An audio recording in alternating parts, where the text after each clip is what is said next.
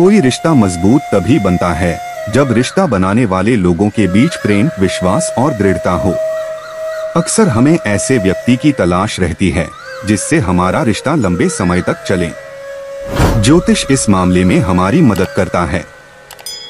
ज्योतिष शास्त्र के अनुसार दो लोगों की बीच संगतता या अनुकूलता कुछ निश्चित नियमों के आधार पर जानी जा सकती है।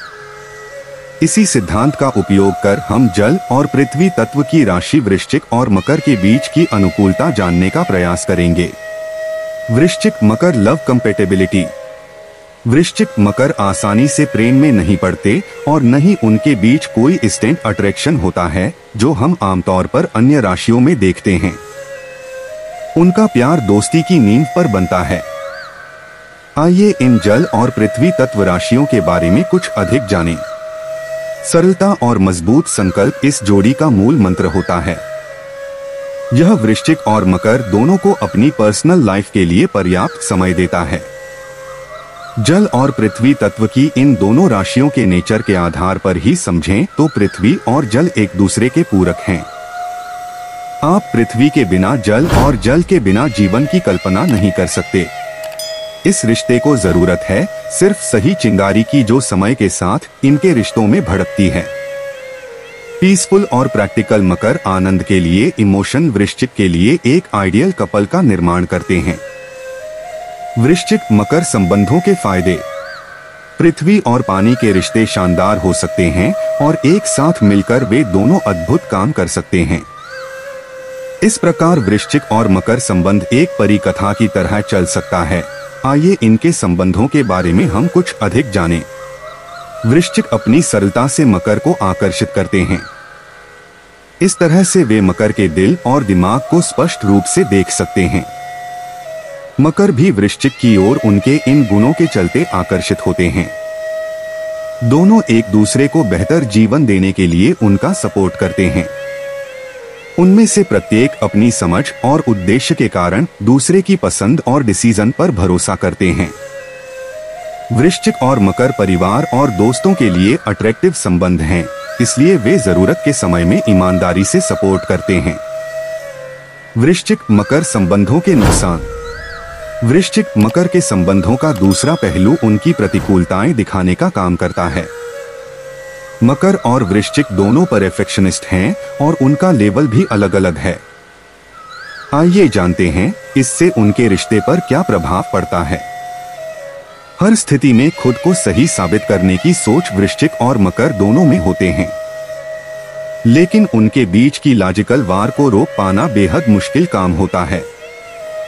हालाँकि इस रिश्ते में झगड़े कम से कम होते हैं। लेकिन फिर भी वे अपने स्वभाव के कारण अपने रिश्ते बिगाड़ सकते हैं।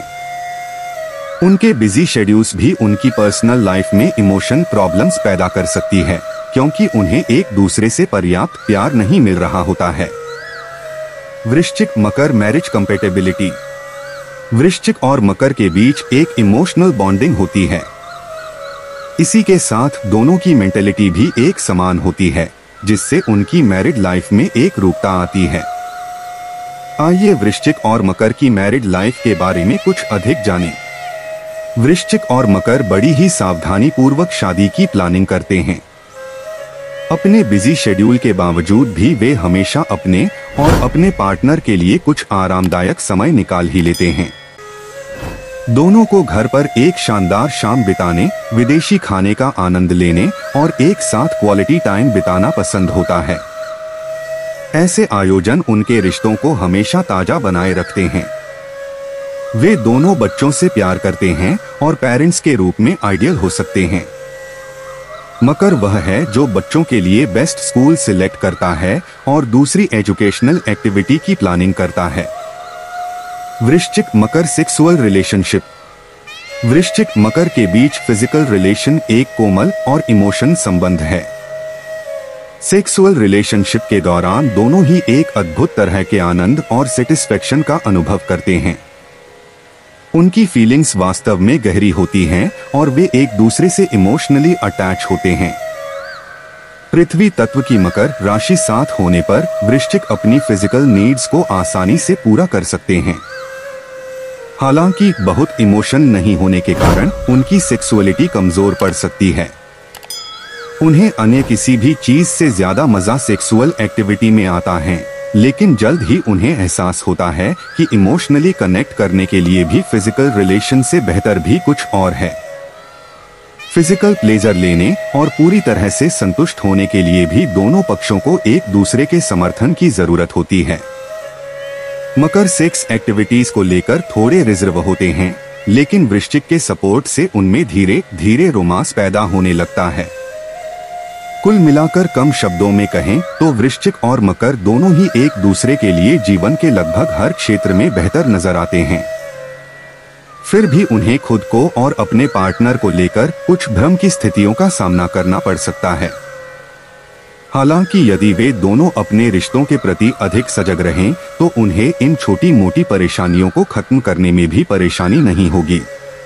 कोई रिश्ता मज़बूत तभी बनता है जब रिश्ता बनाने वाले लोगों के बीच प्रेम, विश्वास और दृढ़ता हो। अक्सर हमें ऐसे व्यक्ति की तलाश रहती है, जिससे हमारा रिश्ता लंबे समय तक चले। ज्योतिष इस मामले में हमारी मदद करता है। ज्योतिष शास्त्र के अनुसार दो लोगों की बीच संगतता या अनुकूलता कुछ निश्चित नियमों के आधार पर जानी जा सकती है। इसी सिद्धांत का उपयोग कर हम जल और पृथ्वी तत्व की राशि वृश्चिक और मकर के बीच की अनुकूलता जानने का प्रयास करेंगे। प्रिय दोस्तों, अगर आपको यह वीडियो पसंद आया तो कृपया ऑनलाइन रेटिंग चैनल को सब्सक्राइब करें, लाइक करें और अपने दोस्तों को शेयर करें।